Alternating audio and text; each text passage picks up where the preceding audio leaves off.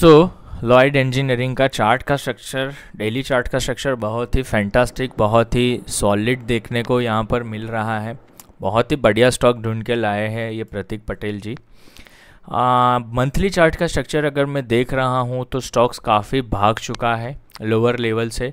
और even last एक साल की अगर हम बात करते हैं तो एक साल पहले ये स्टॉक हुआ करता था ट्वेंटी वन रुपीज़ पर अभी स्टॉक चल रहा है सिक्सटी फाइव रुपीज़ तो स्टॉक्स काफ़ी बढ़ चुका है राइट बट सभी मल्टीपल टाइम फ्रेम एनालिसिस मैं कर रहा हूँ। अभी भी स्टॉक के अंडर पोटेंशियल है और वीकनेस अभी कोई देखने को यहाँ पर मिल नहीं रही है।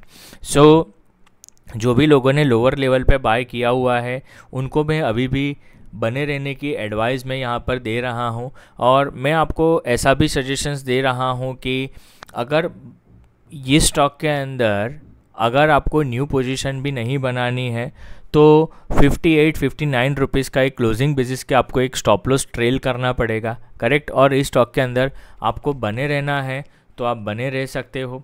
और यहाँ पर जिस तरह का लास्ट क्लोजिंग में जिस तरह का कैंडल बना हुआ है, मुझे ऐसा लग रहा है कि एक कैलकुलेटेड रिस्क अगर किसी को भी लेना है तो सिक्सटी फाइव रुपीज़ पे अगर जो करंट मार्केट प्राइस आपको यहाँ पर देखने को मिल रहा है सिक्सटी फाइव रुपीज़ के आसपास करेक्ट वहाँ पर सिर्फ़ ट्वेंटी परसेंट क्वान्टिटी ही किसी को भी बाय करना है तो बाय कर सकते हो और फिर थोड़ा गिरावट का आप लोगों को वेट करना पड़ेगा सिक्सटी वन रुपीज़ के आसपास सिक्सटी वन रुपीज़ के आसपास नॉट एग्जैक्ट 61 61 रुपीज़ के आसपास अनदर 80 परसेंट क्वान्टिटी आप लोगों को बाय कर लेना है और फिर क्लोजिंग बेसिस के ऊपर आपको स्टॉप लॉस मेंटेन करना है वो है 58 59 रुपीज़ का।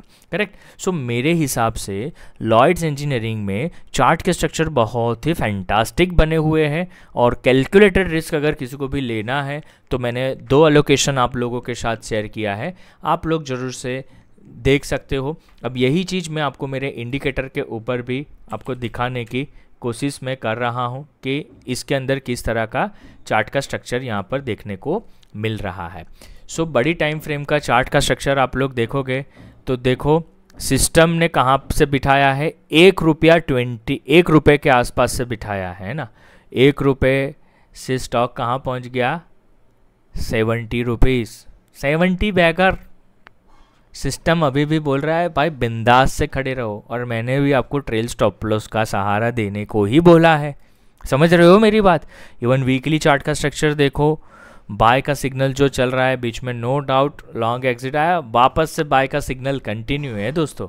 और इवन डेली चार्ट का स्ट्रक्चर देखोगे बाय का सिग्नल कंटिन्यू था, लॉन्ग एग्जिट, थोड़ा साइडवेज यहाँ पर स्टॉक हो गया है, इस वजह से थोड़ा इम्पल्स आपको देखने को मिल रहा है।